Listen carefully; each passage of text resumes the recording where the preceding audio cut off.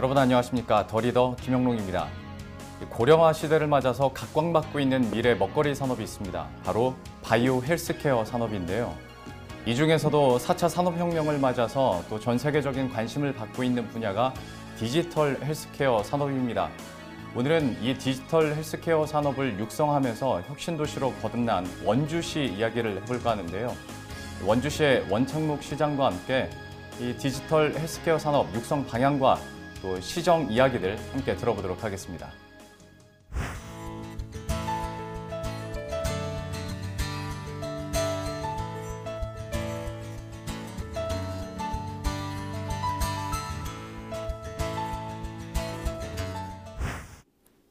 먼저 바쁘신 와중에도 이렇게 시간 내주셔서 감사합니다. 네, 고맙습니다. 예, 반갑습니다. 네. 벌써 세 번째 삼선이시잖아요. 네, 그렇습니다. 어, 정말 많은 시간 동안 원주시 함께 하셨을 텐데 그만큼 또 성과도 이뤄내셨고 네. 그러다 보니까 또 삼선을 원주 시민들께서 허락하신 거 아니겠습니까? 네. 어, 자화자찬이라고 하긴 좀 그렇겠습니다만 지금까지의 성과 네. 한마디만 해주신다면 뭐가 있을까요?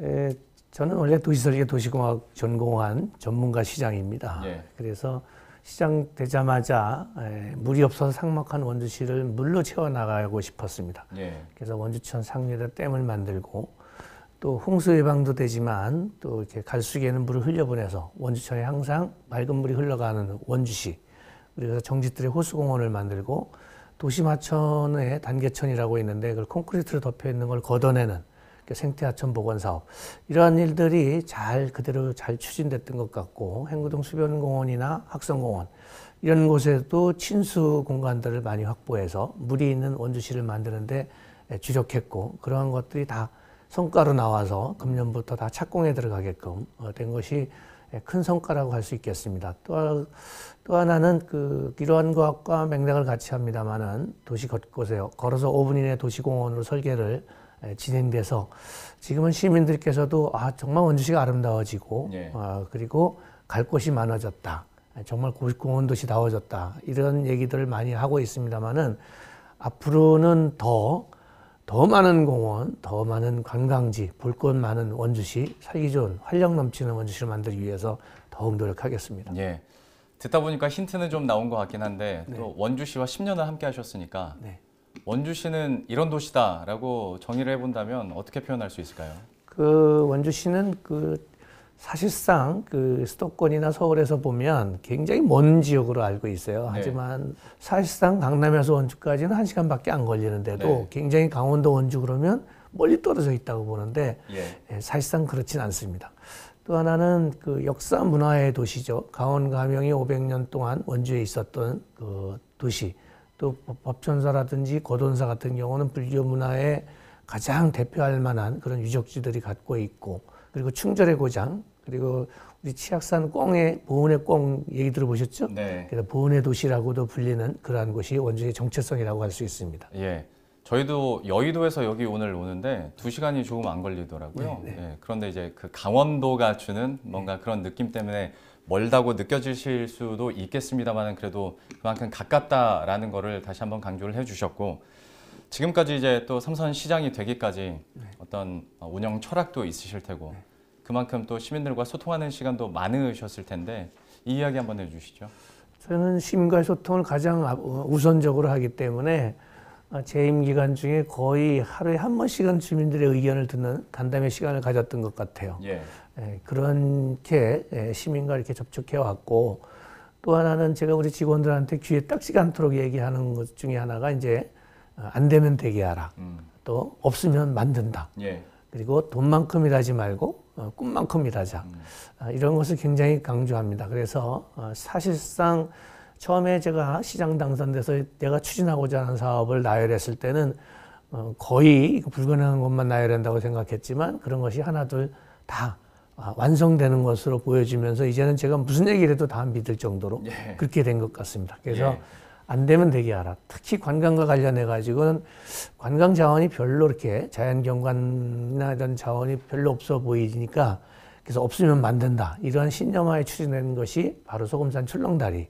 예, 그런 경우도 특별한 관광 자원이 없기 때문에 만드는 거죠. 만들어 나가서 대한민국의 최고의 관광 도시로 자리자김, 자리매김할 수 있도록 해나갈 것입니다. 출렁다리는 이제 명소가 됐잖아요. 네, 대한민국에. 예. 근데 지금 명소는 아무것도 아니라고 보시면 됩니다. 앞으로는 어, 대규모 주차장을 이제 갖출 것이고 예. 어, 케이블카로 출렁다리까지 걸어서 올라가는데 되게 힘들잖아요. 노약자, 장애인들은 올라가기 사실상 어려울 정도인데 이제 케이블카를 타고 올라가서 이제 출렁다리 건너가면 하늘 정원이 펼쳐지고 또 그 하늘 정원을 어, 지나가면 중국에 있는 그 잔도길, 예. 잔도길을 만들고 건너편 산으로 건너가는 다리를 하나 더 만들어서 아, 또 잔도길로 나와서 그다음에 모노레일 타고 내려올 수 있도록 그래서 예. 한 네다섯 시간 이렇게 소요될 수 있는 그 보고 즐길 수 있는 또 가족과 함께 할 수 있는 그러한 관광지를 조성하게 되면 지금보다도 뭐 한 500만 명 오지 않을까 연간 예. 네, 그렇게 예상하고 있습니다. 예. 그리고 어떤 음, 정책적인 이야기는 저희가 나중에 여쭤보긴 하겠습니다만 약간 무거운 얘기를 제가 어, 처음에 한번 해보자면 일자리 창출과 관련해서는 후보 시절 때서부터 계속 강조를 해오셨고 또 문재인 대통령도 신년사에서 고용에 대한 어떤 불확실성이나 부진에 대해서 계속 강조를 했지 않습니까? 네, 그렇습니다. 원주시에서 그리고 또 시장님께서 갖고 계신 일자리 확충 어떤 계획은 큰 그림에서 어떤 게 있을까요? 일단은 저희는 큰 틀에서는 그 일자리를 만드는데 최우선하는 것 중에 우리 한 기업 유치를 빼놓을 수 없을 것이라고 생각이 됩니다. 그래서 원주시는 기업 도시와 혁신 도시가 이제 동시에 예, 유치한 도시가 되는데 지금 다 성공적으로 지금 마무리 단계에 있습니다. 그래서 그 기업 도시도 그 공단 그 공장 기업들을 유치할 수 있는 산업 용지가 그 지금 80% 이상이 이제 분양이 다 끝났고 그래서 우량 기업을 유치할 수 있는 길이 다 뭐 마무리가 돼 간다. 이렇게 보시면 되겠습니다. 혁신도시는 뭐 그 클러스터 용지라든지 거기에 공공기관들이 이미 이전을 다 완료해서 또 건강보험 심사평가원은 당초에 1,100명에서 1,300명이 추가로 늘어나서 2, 4억을 지금 짓고 있는 예, 그런 상황이라는 점을 말씀을 드리고 또 이제 이 양질의 이그 우량 기업들을 유치하는 것 말고도 어, 관광을 통한 일자리에다가 저희가 굉장히 예, 심혈을 기울이고 있습니다. 방금 전에 말씀드린 소금산 출렁다리 주변 관광지 조성하는 것 외에도 예, 다양한 예, 관광지 조성 사업을 추진해 나갈 것입니다. 그래서 화이트카 관광단지가 한 80만 평 정도 되는데 예, 이것은 원주시 측이 대한민국의 관광 지도를 바꿔놓을 만한 그러한 프로젝트라고 생각되는데 꼭 완성시키도록 할 것이고 또 글로벌 테마파크 한 천만 평 구상하고 있습니다. 이 방송 보시는 우리 시청자 여러분들께서는 꼭 투자하시면 제가 적극적으로 지원하도록 그렇게 하겠습니다. 그래서 양, 양- 우량 기업을 유치한 양자리, 양질의 일자리와 관광을 통한 어, 새로운 대한민국 최고의 관광 도시는 원주시로 예, 그것을 통한 일자리 만드는 데 주력하고 있습니다. 또 지금 대통령께서 약속해 주신 물론 그 부론의 국가산업단지 디지털 헬스케어 중심의 국가산업단지 조성도 어, 지금 계획대로 추진되고 있어서 예, 이것이 조성되고 국가산업단지로 조성되고 나면 원주는 그야말로 가장 대한민국에서 아, 빠르게 성장하고 일자리 넘치는 원주시가 될 것으로 확신하고 있습니다.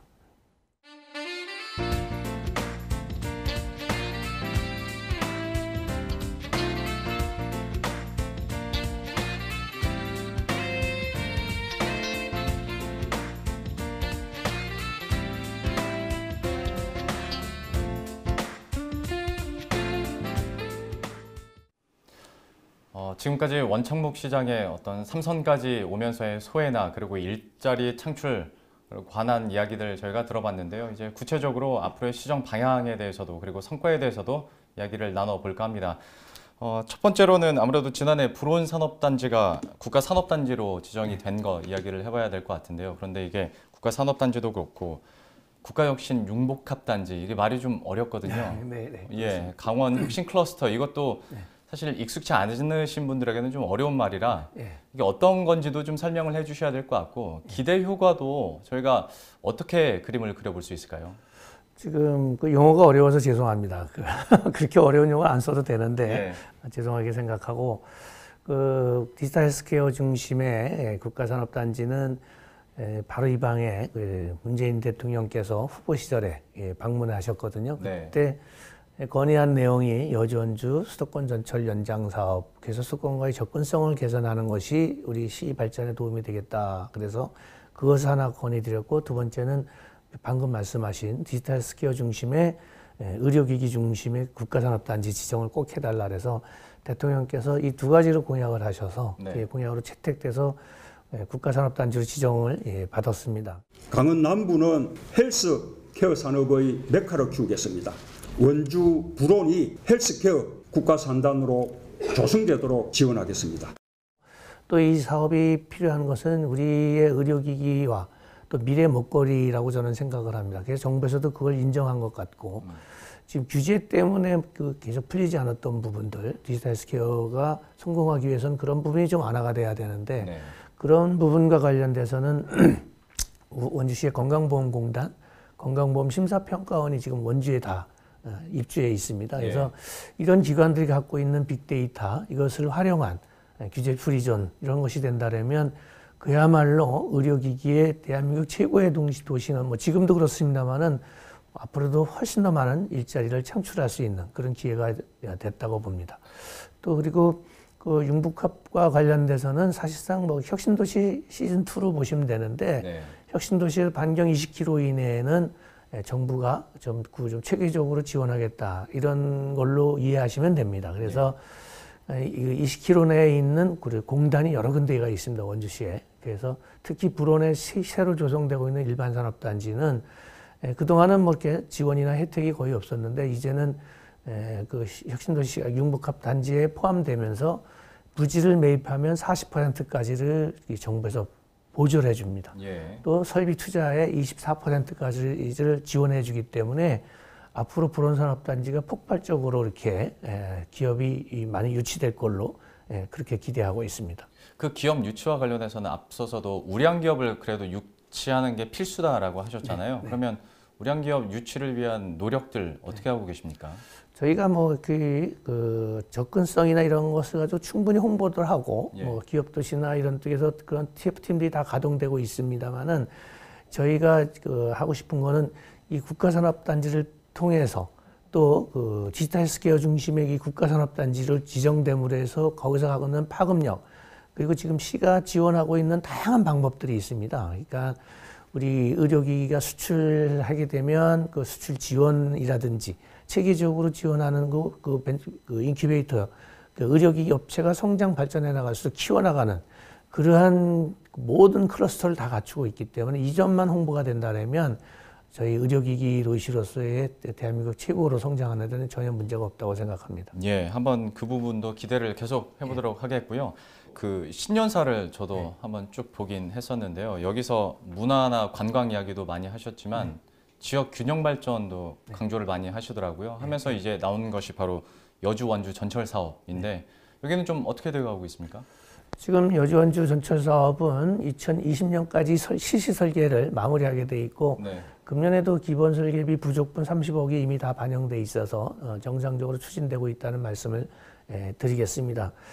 또 이제 균형 발전이라기보다는 이제 우리 지역 내에서의 균형 발전을 보면은 이게 지금 시- 어, 신규 택지를 조성하면서 완성된 혁신도시라든지 남북권 쪽 굉장히 많이 발전돼 있는데 구도심하고 북부권이 좀 문제가 좀 있다고 판단되고 있습니다. 그래서 어, 그 지역도 어, 균형 있게 발전시키기 위해서 특히 우리 학성동의 도시재생 사업이 이제 예, 선정됐는데 집장촌도 있어요. 그래서 집장촌 폐쇄와 더불어서 새롭게 예, 공방거리로 이렇게 조성해 나가면서 청년 일자리와 맞물려 도시재생을 이렇게 추진할 계획이고 금년에도 우리 중앙시장을 중심으로 한 구도심 그리고 봉산동 그다음에 대학타운이 있는 우산동을 중심으로 한 도시재생 사업에 선정될 수 있도록 예, 노력해 나가도록 하겠습니다. 예. 그리고 이제 관광 쪽도 한번 네. 말씀을 드려야 될 것 같은데 천만 관광객 유치하겠다. 네. 뭐 이렇게 단순 계산하기는 좀 뭐합니다만은 우리나라 다섯 명 중에 한 명은 그러면 원주에 관광을 와야 된다는 건데 네, 네, 그렇습니다. 어떤 구상과 계획으로 이렇게 다짐을 하셨어요? 어, 저희는 그 사실상 천만이 아니라 삼천만이 목표인데 네. 그 삼천만 관광도시 원주를 만들겠다 그러면 시민들이 잘 안 믿을 것 같아서 겸손하게 천명으로 시작하시는 그래서 천만으로 지금 낮춰서 했다고 보시면 되고 예. 그게 꿈이 아닌 현실이 될 수 있다고 생각하는 저희가 소금산 출렁다리 때문에 그러는 것이 아니라 소금산 출렁다리는 한계가 있다고 생각합니다. 네. 숙박이라든지 먹거리나 이런 것이 예, 거기서 다 해결할 수는 없다고 판단되고 화이트카 관광단지는 한 80만 평 정도가 되니까 사계절 꽃박람회가 가능하겠죠. 예, 그리고 대한민국에서 가장 큰 식물원. 얼마 전에 서울식물원이 이렇게 오픈했는데 제가 가봤는데 네.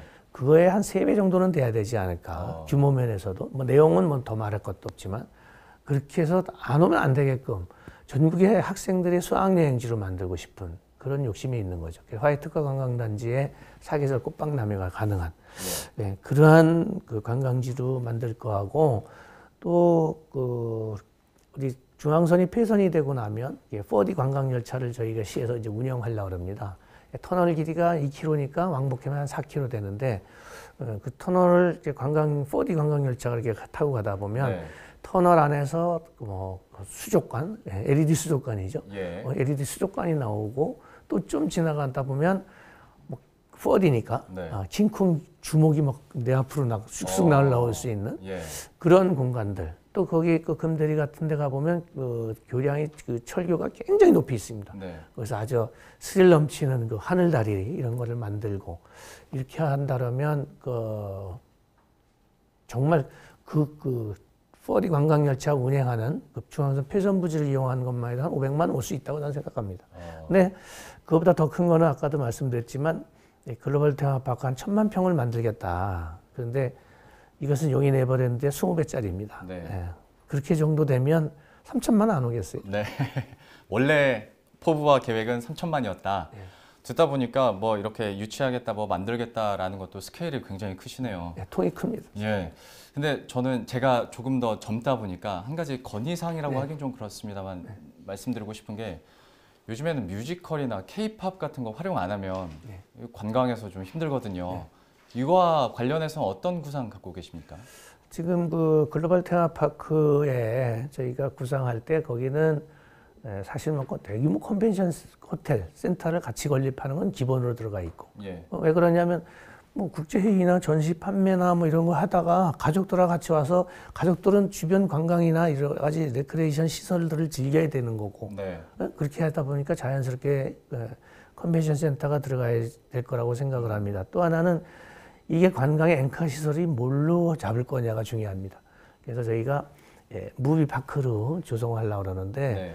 지금 예를 들면 뭐 유니버설 스튜디오라든지 폭스 스튜디오 이런 것들이 굉장히 많지 않습니까? 예. 그래서 예, 그러한 movie park를 중심으로 한 그러면서 어, 관광을 글로벌 테마 파크로 만들지 않으면 천만 평을 뭘로 만들겠어요? 그래서 쉽게 얘기해서 그 안에는 뭐 차이나타운이 뭐 한 30만 평, 40만 평을 만들어서 중국 관광객들이 야 한국에 가니까 중국보다 더 중국스러운 데가 있다. 네. 이래서 이 글로벌 테마파크 이름에 걸맞게 또 앞으로 인도가 대세가 될 텐데 어, 인디아 타운이라든지 일본, 동남아 이런 것들이 유네스코 타운 같은 것도 조성할 필요가 있다고 생각을 합니다.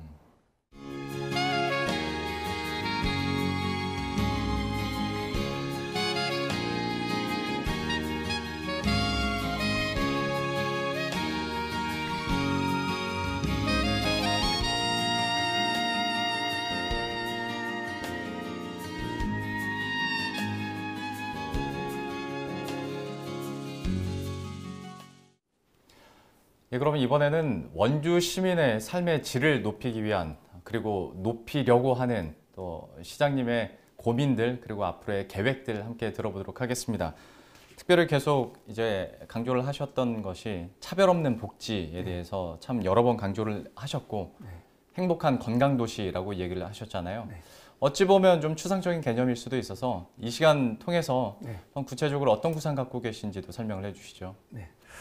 그 차별 없는 복지는 저희 시에서 추진하는 것이 지금 그 일단은 인프라들이 상당히 부족했습니다. 예. 그래서 장애인 복지관도 어, 굉장히 오래된 건물이 하나밖에 없었기 때문에 제2장애인 복지관을 이미 설계 반영해서 금년 내에 준공을 지금 할 계획이고 또 하나는 노인복지관이나 아, 이런 부분도 저희가 그 권역별로 지금 건립하기 위해서 문막은 이미 금년 안에 준공이 될 테고 예, 북부권에도 이제 건립할 그런 계획을 갖고 있습니다. 또 어, 곳곳에 그 장애인들을 위한 보호 작업장이라든지 예, 그러한 공간도 확충해 나가는 그리고 주단기 보호소 이런 것들이 그 금년 안에 다 준공나게 되어 있다는 말씀을 드립니다. 또 이게 건강을 건강 도시와 관련해서는 우리 치악산은 둘레길을 갖다가 지금 한 60km 넘는 예, 둘레길을 내년까지 이제 준공을 내고 이 천리 노복길도 이렇게 만들어서 수도권에 있는 사람들이 원주를 방문해서 같이 즐길 수 있는 공간으로 만들고 문화복지와 관련해서는 뭐 여러 가지가 있습니다만은 어, 대표적으로 하나를 얘기하라면 그 얼마 전에 강원도로부터 약속을 받은 뮤지컬 오페라 공연이 가능한 예, 그러한 대규모 공연장 한 2천석 전후가 될 텐데 예, 그런 공연장을 저희가 갖게 되면 이 중부 중부권에서는 가장 문화 인프라를 잘 갖추는 예, 그런 도시가 될 걸로 어, 기대해도 좋을 것 같습니다. 예. 워낙 계획도 구체적이시고 스케일도 크다 보니까 대신 홍보도 그만큼 열심히 하셔야 될 것 같습니다. 예, 많은 분들이 또 기대를 하고 있을 것 같고. 네. 근데 이쯤에서 약간 안타까운 또 소식이자 질문을 좀 드려야 될 것 같은데 최근에 원주 중앙시장에서 화재 사 건이 네, 좀 네. 있었지 않습니까? 네, 그렇습니다. 여기에 대해서 이제 원주시에서 특별 금융 지원한 걸로 알고 네. 있긴 합니다만은 좀 많은 곳에서 근본적인 좀 대책이 필요하지 않겠냐라는 지적들도 분명히 있습니다. 네. 여기에 대해서는 어떤 계획 가지고 계십니까? 그 저희가 그 홍종학 중기 중기벤처기업 장관님께서 그 화재가 난 다음 날 오셨어요. 예. 그래서 제가 건의한 거는 지금 그, 그 재래시장 현대화 사업으로 해서 한 70억 정도가 이미 지금 예산이 반영돼 있습니다. 네. 그런데 그것을 현대화한다고 해서 그 건물이 지금 48년 됐습니다. 그냥 낡은 데다가 자꾸만 뭐 화장하는 것 같아. 그래서 예. 그렇게 하지 말고 이 돈을 아예 새로 지을 수 있게끔 그, 자- 그, 돈- 그 돈을 거기다 포함시키자.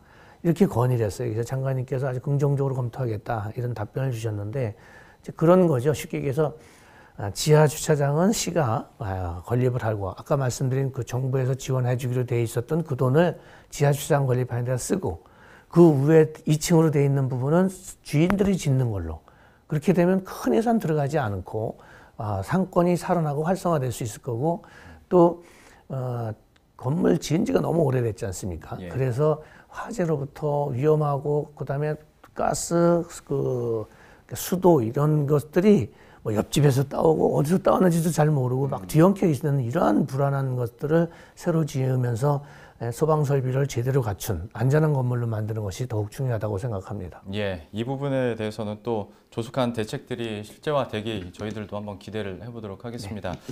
어, 마지막 이제 질문이 될 것 같은데요. 네. 물론 삼선이 되셨지만 또 새롭게 시작하는 기분일 것 같습니다. 네. 그래서 나중에 원주 시민들이 어, 어떤 시장이었다라고 좀 기억에 남았었으면 좋겠는지 네. 그리고 앞으로의 남은 포부에 대해서 또 한마디 해주시죠. 시장을 두 번 하다 보니까 지치고 힘드는 것도 굉장히 많이 있습니다. 예. 근데 삼선에 출마하게 된 것은 어, 그동안 대부분의 사업들 대규모 사업이 한 20개도 넘는데 이런 것들이 다 계획대로 다 완성됐습니다만은 약속했던 것 중에 아직 완성 못한 것이 화해관광단지 80만 평하고 글로벌 테마파크 1000만 평입니다. 네. 이것을 우선적으로 마무리할 수 있도록 하고 또 민자공원이 한 30만 평이 지금 조성되기로 되어 있습니다. 그래서 아, 이러한 것들을 단계적으로 완성하게 되면 제 임기가 끝날 때쯤 되면 대한민국에서 가장 살기 좋은 도시 그리고 공원 속의 도시 어디서나 아, 걸었고 쉴 수 있는 그런 관광도시 원주를 완성할 수 있을 거라고 생각됩니다.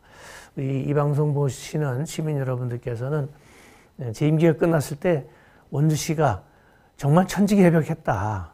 아, 그런 것을 피부로 느낄 수 있도록 그렇게 최선을 다하도록 하겠습니다.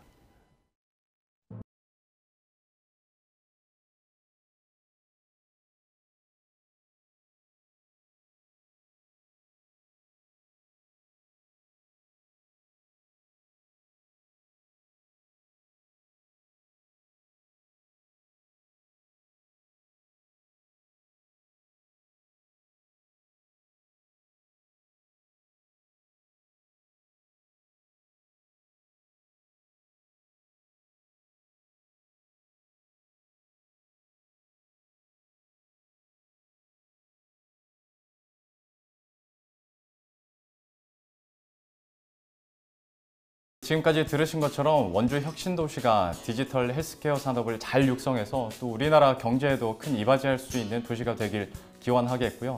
또 앞서서 들은 것처럼 또 시장님의 남다른 스케일의 포부처럼 천만 문화 관광 도시가 될 수 있기를 저희들도 응원하면서 바라보도록 하겠습니다. 지금까지 원주시의 원창묵 시장과 함께했습니다. 오늘 말씀 고맙습니다.